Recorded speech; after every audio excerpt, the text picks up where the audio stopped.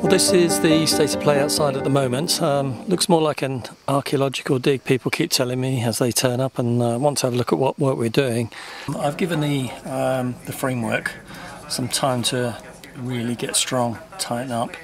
What I'm going to start doing is start preparing around the edges of the frames. A lot of questions have been coming in about how we're going to finish that.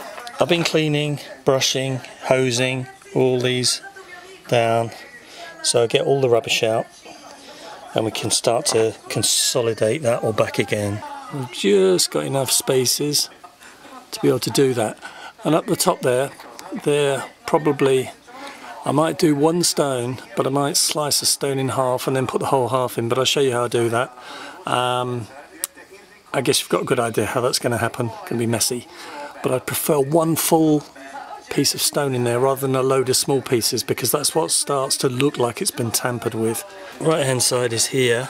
Um, as you can see I've found a stone here so it's a whole stone. Fits in nicely, fits in the hole.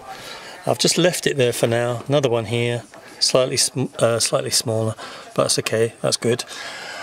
Got that big hole to fill up so I've got to consolidate behind um, the columns now. Been doing some work on the edges of the stone, so starting to get these flat. There's a, you know, when you put them in, they don't go in exactly. Just finishing over the top with sandpaper. I've got a little bit of filling to do. There'll be a ridge in here to show the clear split between the top and the bottom rock. But this line here, we're going to start to close in, primarily because I don't want any damp to get in there when it rains or when the winter comes, it snows. So I'm going to do a mix of mortar and I'm going to start to get the, some of these stones fixed in and just work up both sides. Okay, just trying to find a stone for this bit of a strange shape. I've got this one, um, which I just found on the rock pile. Kind of like the face because it's kind of flat, so you can see that it's nice and flat on top. Or that's the face I think I'm going to use. It's got kind of a flat bottom, slightly falling away, um, the thing about these stones is when they sit in and they go in, and some of them just slot into place for some reason. It might be not something you do on purpose, but if I can just, I feel as though this is about the right shape. And sometimes they just sit sitting perfectly. Might be that way up, it might be that way up. I think it's that way up.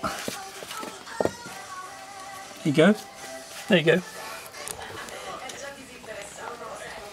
Okay, a stone I think I'd like to use. It's an interesting shape, it's got a couple of interesting markings on it, and it would fit in there perfectly if the hole was deep enough. It'll, it'll leave me with a tiny little gap here, but I'm not really worried about that. What I do like is this edge it's providing here. Um, just looks like it's always been there when it's sitting there. So what I've got to do is to take out the bit of stone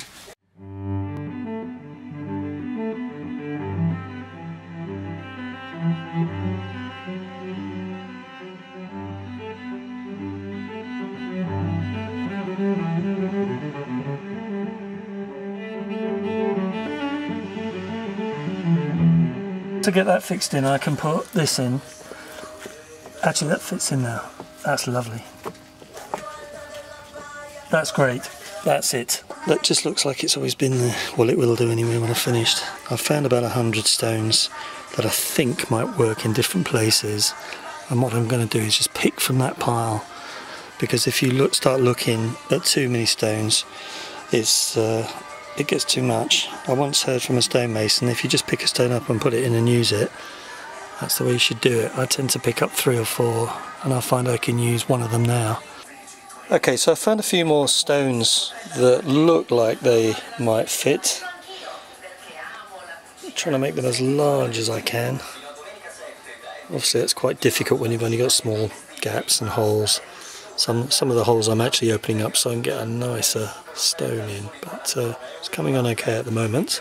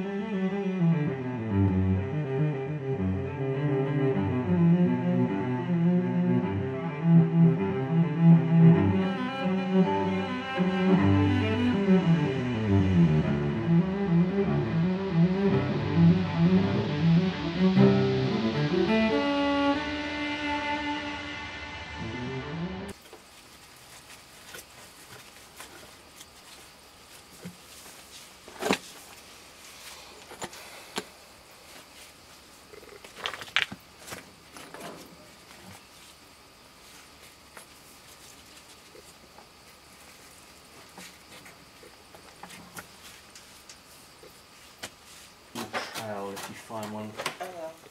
my Okay. favourite one. Ah.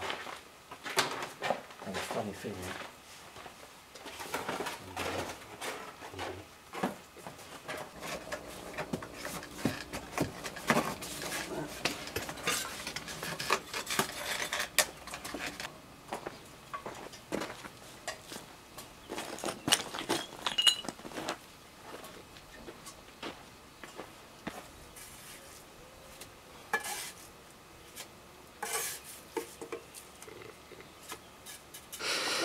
Okay, so we're looking for a stone that we can take a slice out of.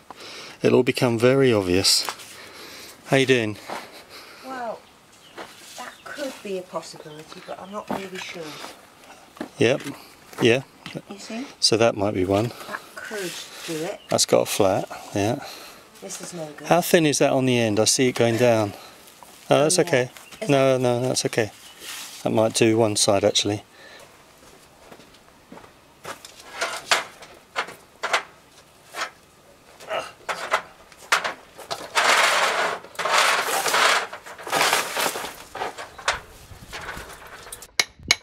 Oh gosh. This could be interesting because Steve is actually tapping in to the he's grinded. Now whether or not the stone breaks, he gets what he requires, or watch this space. This could easily snap in half. I can see. It's quite tricky this bit. Uh, button's disappeared.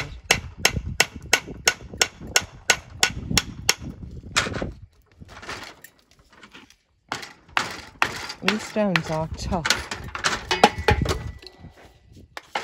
And hot. yeah, and it's hot. Right, we need a little bit more cutting there, so back to the grinder. Oh my goodness. Here we go.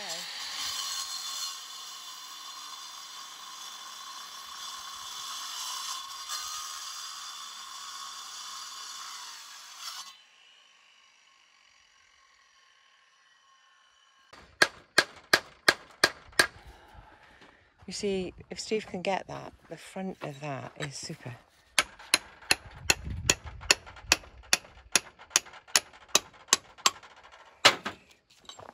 Oh, something's happening. Okay, let me see, let me see. Oh, wow. Oh, gosh. Is that a bacon sandwich? I can smell it from here. Yeah, bacon sandwich and a cup of coffee. Nice. Ah. I lost, I lost the, um, the napkins on the way. Create space. And Miss Button's got something to you. Okay. Like a napkin? but Mummy's got your freebie as well. Stay in the shade though. Stay in the shade. Can she go down there? Yeah, go in the shade. Go in the shade. Over here. Probably over here, but uh, But probably over there. Okay. Come this you, way. you walk it over there, she'll follow you, won't? Uh, yeah, come this way. Come here, baby. The sandwich is this one is yours with the sugar in that cup. And there is a napkin. Bacon sandwich. Uh, yeah, bacon sandwich, and also You not get, a, you get a bacon sandwich in England as well. yeah, but not forgetting tomato. We do eat a lot of tomatoes, by the way. There's tomato in this, by the way. Mm. That's good. That's good. Mm. That's good.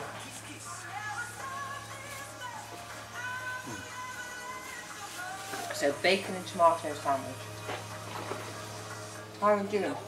Right, absolutely. Mm. Nice.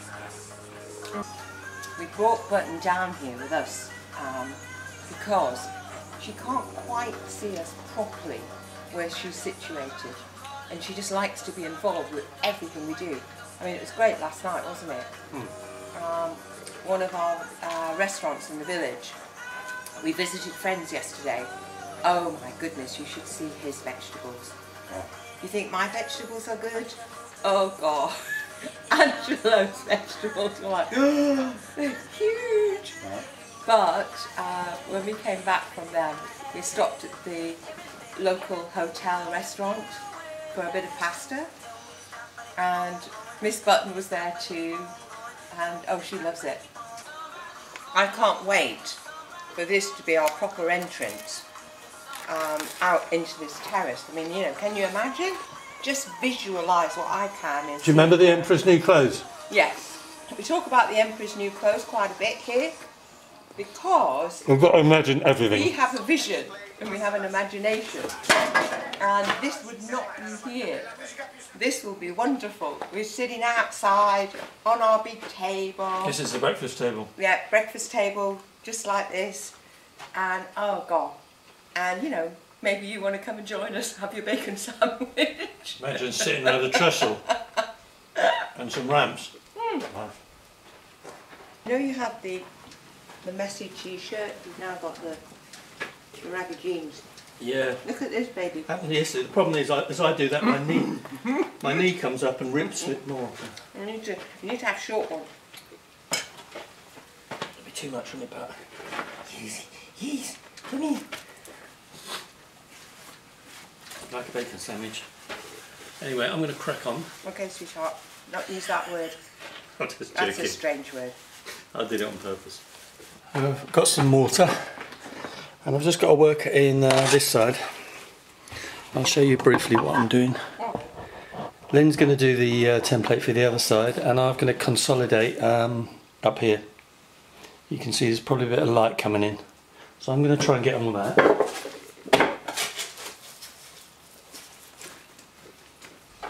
Okay, so remember the, tem the template uh, Lynn did for me. Um, that's the stone and that's the template. That's not looking too bad. So it's roughly the right shape. That's all it needs to be. So we've got this thickness at the moment. So what's that? 50, 60 mil thick, 55 maybe. But we've got a load of cutting to do on this and it's going to get, this stone is going to start to get very delicate because we're going to go down to that thickness on the top, and also the bottom because obviously the inside is going to go inside the girder, remember that?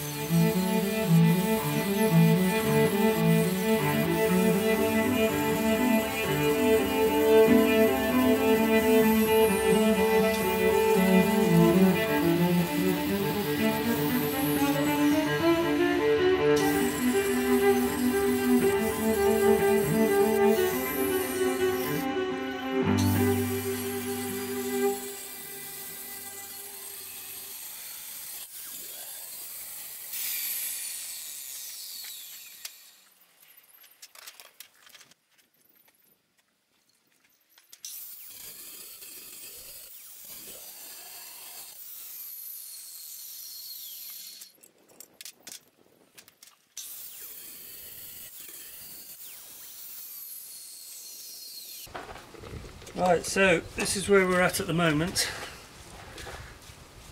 You can see it's going to start to replace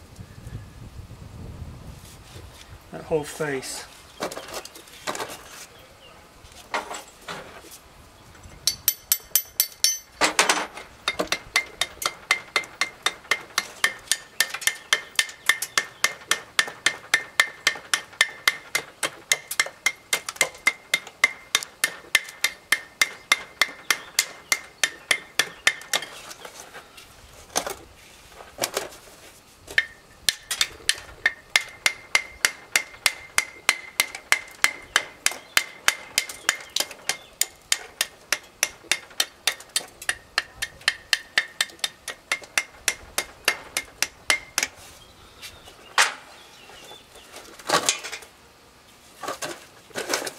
Right, you're up on the first floor. Uh, Keystone's next to you on the left.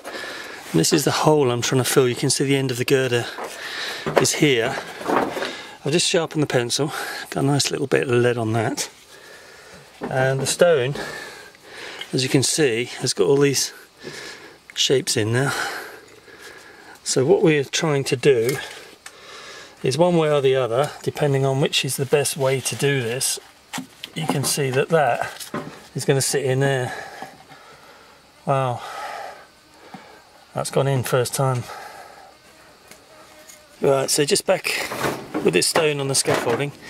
Now what I've done is, I've aged all the way around the edge of this stone. Everything, so if you look quite closely, that's not a hard cut line there uh, anymore, this one here. That line there, and all I've done is got a little nail hammer with a little end on it. And I've just been chipping it like this. Slowly turning it into what is going to look like a complete stone. So all these little edges all get knocked around a bit not too much otherwise this will split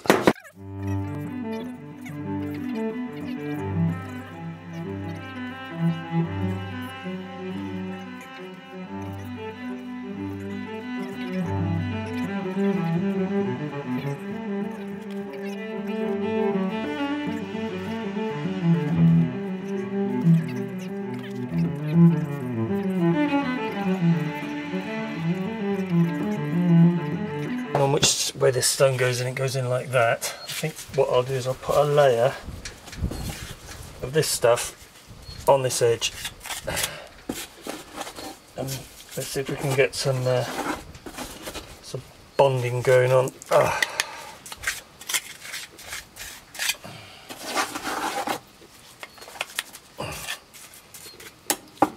Right, what I need to do is to press that in there. Now you can see it's very high at the moment, but if we keep doing that and shimmy it and give it a little knock as well so we can get that bedded in properly. What I want to do is form that back end shape. I've got to be careful doing this because I don't want to break the stone. And it's easy to do. So just keep knocking and pushing.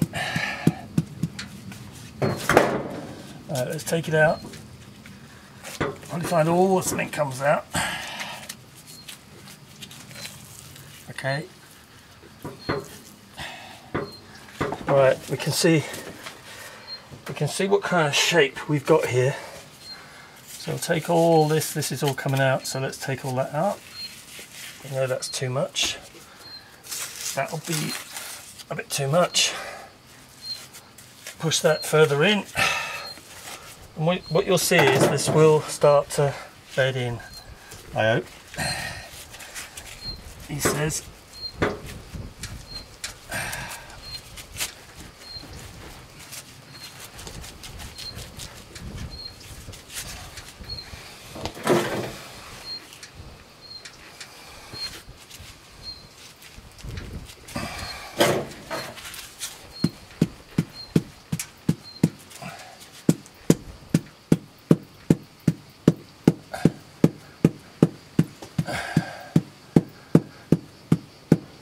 it is going. It's just going to take some doing.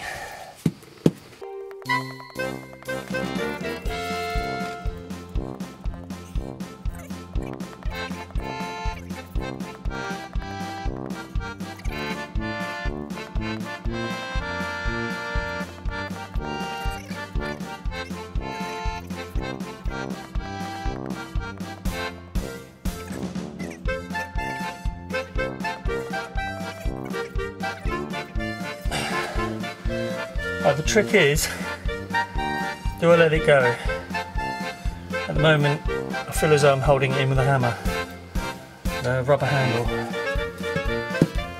If you just keep tapping away, that cement is just getting compressed and it's causing a vacuum uh, behind the stone, which is making it stick on like a suction pad. Deeper necessary and it's only tiny little knots just to get that suction going so it's onto the wall and onto the girder. Anyway, that's what they tell me.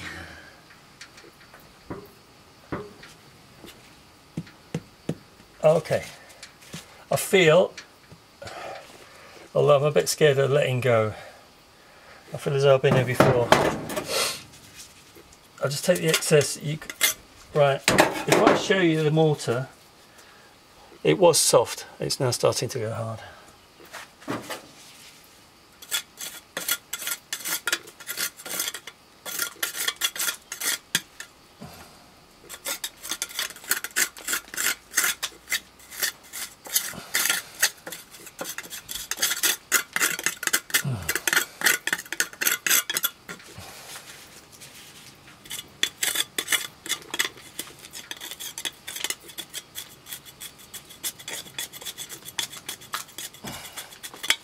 I'm going to stay stay with this. It needs as much help as it can to stick.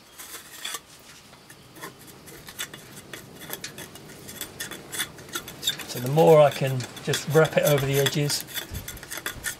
Obviously there's another coat of mortar going on this, the limes, the, the other lime mortar.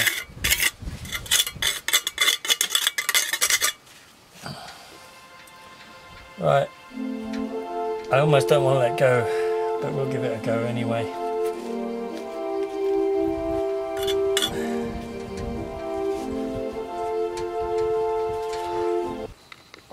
Okay, so this is the view from the ground floor and uh, that's the stone in place. I've walked away from it. If it falls out now, God help me, um, I wouldn't like to go through that again.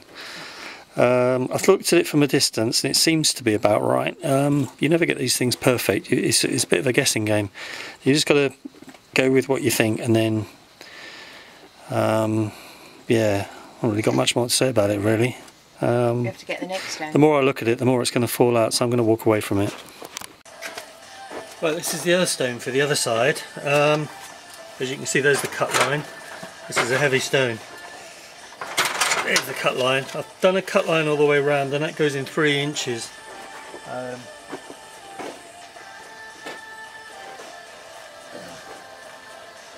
had a few questions about what I use and that's the beast. So that's Makita, that's a diamond cut blade and uh, that is uh, 2000 watts. So it's a nice piece of kit, does the job. However, I can only go in so deep. Uh, I can't think of how else I can get any deeper at the moment. Um, obviously you saw the first stone, it was perfectly okay. Let's give let's give this a tap and see if we can break it off in the same way. I'm, I'm always worried about doing, as you've probably seen, doing so much work on these and then it goes wrong. Alright, so I've got a small club hammer and I've got the, the chisels.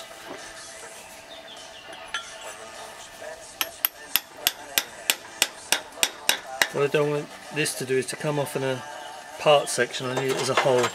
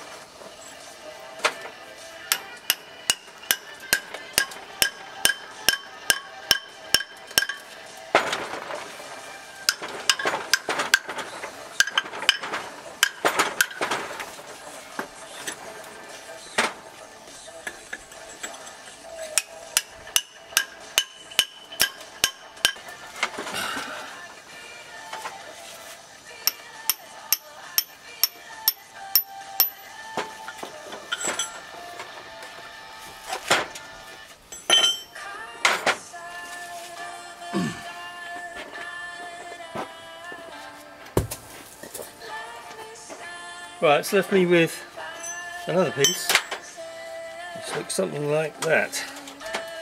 So I've got all the finish, but I've got none of the thickness, so it's beautiful.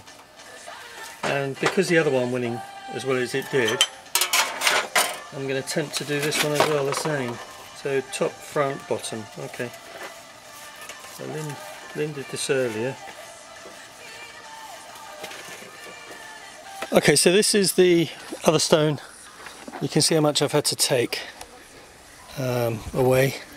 So that's the section through. That part sits inside the girder on the other side.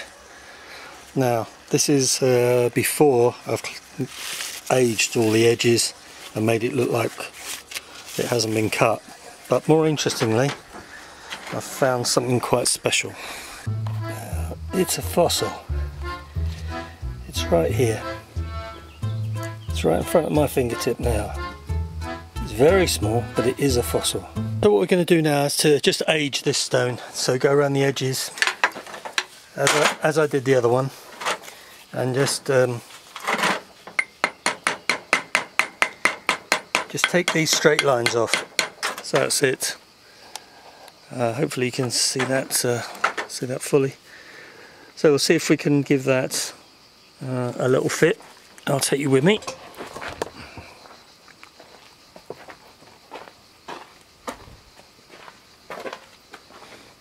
Right, okay, so we're going in that hole with this. Okay, so just bear with me. This is first dry fit on this.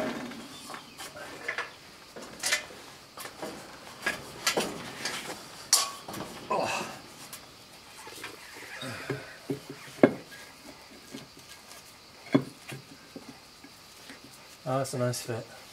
That's perfect. And it's staying there on its own, look.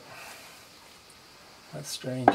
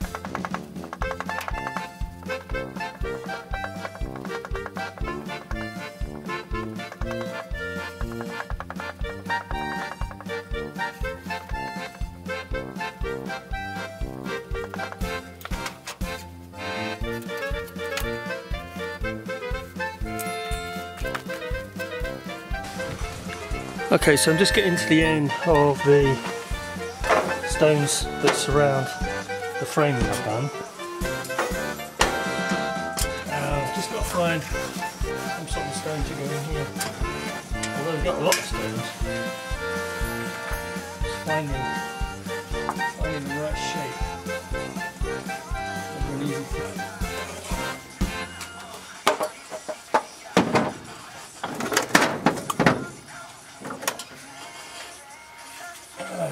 okay, last one.